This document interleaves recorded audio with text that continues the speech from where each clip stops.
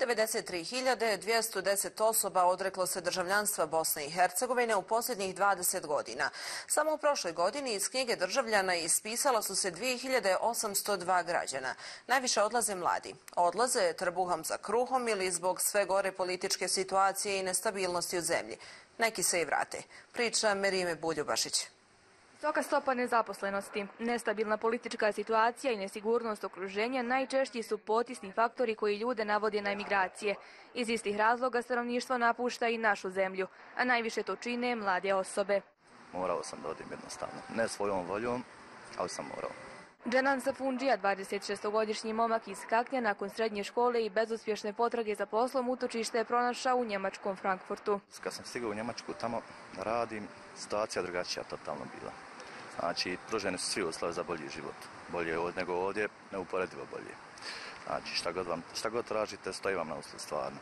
Poslije, ovdje, ja ne znam, ovdje je situacija katastrofa. Dženanu fali domovina, ali realnost mu pomaže da suzbije nostalgiju u srcu. U Bosnu se ne planira vraćati jer tu ne vidi budućnost, a za mlade koji ostaju ima poruku. Da pokušaju da promijene nešto. Za mene je već kasno, recimo. Ja sam već otišao i da pokušaju da promijene nešto ukoliko su mogućnosti. Međutim, stalno se ponavljaju jedne te iste politike i to je već neka druga priča, tako da je to vrlo teško iskorijeniti. Svaka priča ima dvije strane, pa tako i ova. Dok jednima ne odgovara stanje u zemlji i odlaze iz Bosne i Hercegovine, drugi se nostalgično vraćaju u svojoj domovini. Prvenstveno sam se vratila zbog vjerovatno urođene neke ljubavi prema ovoj našoj zemlji. Šejla Nezirević iz Banja Luke je nakon završene srednje medicinske škole odselila u Njemačku gdje je imala spreman ugovor za posao.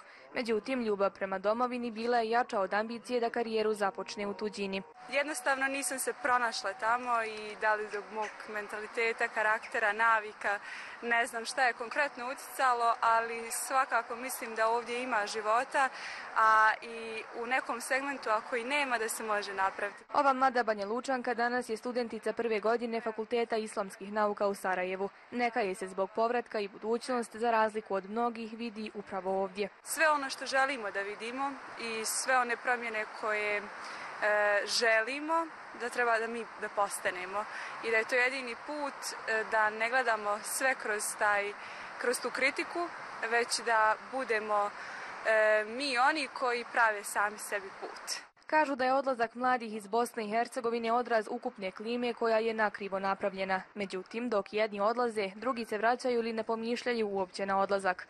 Poruka je i više nego poznata, a glasi da vas sunce tuđeg neba nikada neće grijati kao što naše grije.